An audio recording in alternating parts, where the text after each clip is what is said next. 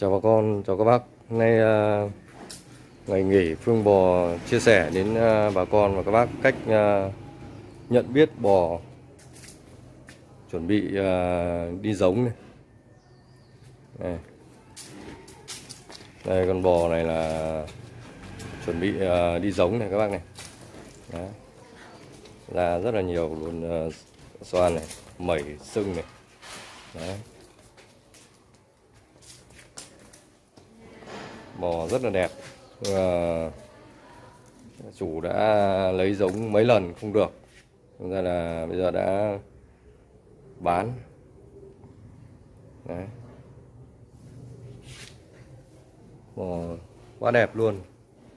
Lúc à, người ta mua thì có nhà đã bảo là lấy giống được ba bốn tháng về gia đình nuôi là cũng không được giống và lại đi giống lại. Đấy, cách các bác uh, Phương một nay chia sẻ các bác là cũng không nên tin nhiều quá. Các bác lên uh, kiểm tra với hình thức như ví dụ như là gọi thú y khám để mình có thể biết chắc chắn. Vì nhiều khi em cũng đã dính những trường hợp là mua con bò của người quen cứ ờ, tin tưởng là bò đẹp và bảo lấy giống trăm phần trăm rồi, được giống rồi.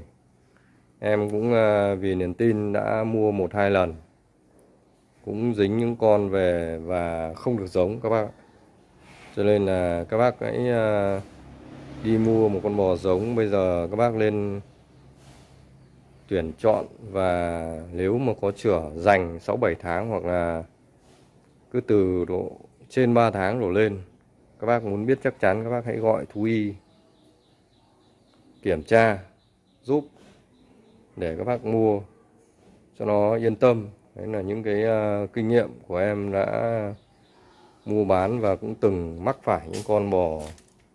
Nhìn hình thức như này quá đẹp luôn các bác ạ. Này này nhiều bác đi mua người ta bảo là bò có chửa 4 tháng 5 tháng em chia sẻ video này để các bác hiểu là và tránh tình trạng đi mua bò giống mà mình tin người ta quá. Đấy. Bò đi giống này các bác. Đấy. Là rất nhiều luôn này. Nên là nhiều khi à, nói các bác thông cảm nhưng mà mình cũng có những lúc phải rất là tin, nhưng có những chỗ là mình mua bán nhưng có điểm bảo hành thì mình sẽ yên tâm hơn. Đấy. như con bò này. Đây như con bò này các bác biết này lối này, quá đẹp luôn nhé đá này. lúc mua người ta bảo có 40 triệu. Nhìn có chửa 5 tháng thích quá mua này. Đấy ông chủ à, mua con bò này về chia sẻ cho em. Và em đã gọi thú y khám hộ giúp bác và bò không có giống nhá đây lại đi giống này các bác này đấy, mẩy sưng này. da dịch đầy này. đấy, cho nên là nhiều khi các bác phải thủ đi mua là em cũng đã dính một hai trường hợp là mua con bò của người quen người ta bảo có giống nhưng mà đến lúc về khám lại không có giống nhé bán đi cho người ta rồi đến lúc không có giống, em lại phải đổi lại. Rất là mất việc, cho nên là đấy là một cái bài học để trước khi lần sau mà em có mua con bò nào hoặc các bác đi mua con bò nào, lên gọi thú y kiểm tra giúp trước. Và nếu các bác mà có gọi thú y nhé cũng phải nên gọi cái người ta biết khám một chút nhé chứ không phải là thú y nào cũng biết khám nhé em đã dính ờ, một con bò là thú y khám có chữa 4 tháng. Đến khi ờ, về nhà, không, đấy là không phải thú y chuyên của mình. Đến khi mình bán, tin tưởng thú y và đã bán cho người khác.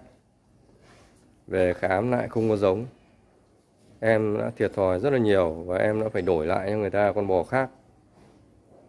Đấy đây là em còn đổi cho như một số trường hợp người ta mua về không ai, người ta mua xong người ta bảo là bảo hành, nhưng xong đến lúc điện thoại lại tắt nguồn. Nhưng riêng khách hàng của em cũng có một hai trường hợp rồi, nhưng mà em đã đổi lại cho người ta hẳn hoi. Phần chịu thiệt là em phải chịu. Vì thực ra cái này nó là không may, nhiều khi nói các bác thông cảm là có những trường hợp đấy là do thú y khám không chuẩn, cho nên là ảnh hưởng đến anh em. Còn các bác mà đi mua bán thì theo kinh nghiệm của em chia sẻ là nếu có giống tầm độ 3 tháng đổ lên là các bác lên à, gọi thú y à, chuẩn, khám giúp và mua con bò để cho nó yên tâm các bác. Đấy.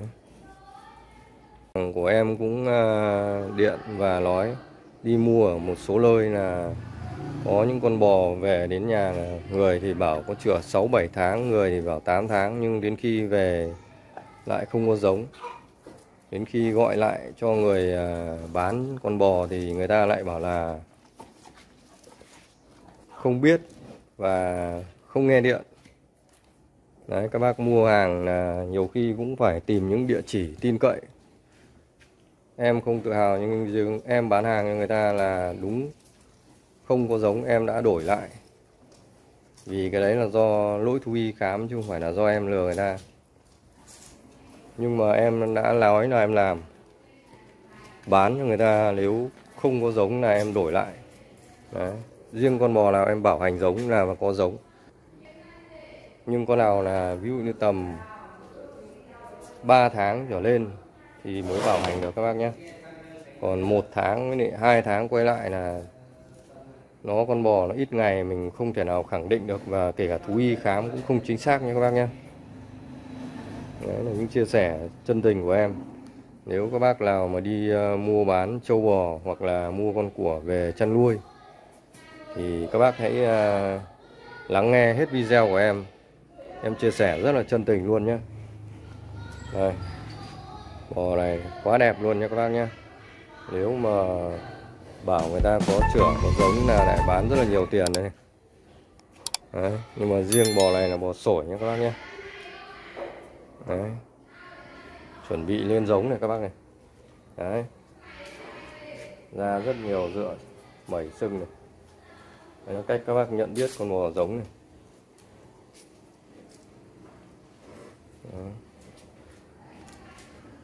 nhiều người ta bán hàng nó không có tâm bò không được giống người ta cứ lừa người ta là có giống. Riêng em bán hàng trừ khi mình không biết thì phải chấp nhận thôi. Các em ờ, cũng gọi thú y khám nhưng mà không may là thú y nó khám không chuẩn thì thành ra nó bị ảnh hưởng và cái niềm tin của mình mà đi uh, tin người ta quá cũng không lên bác ạ. Nếu bò có giống các bác lên uh, mua và kiểm tra trước khi mua. Đấy. Đấy, chia sẻ rất là chân tình nha các bác nhé. Bác nào mà đi mua bò giống thì à, cần lưu ý những điểm em đã chia sẻ. Đấy. còn con này là dành hàng thịt nhé các bác nhé. Bò này bán thịt nhé bác anh không bán giống bò này các bác ạ. Đấy. chào các bác.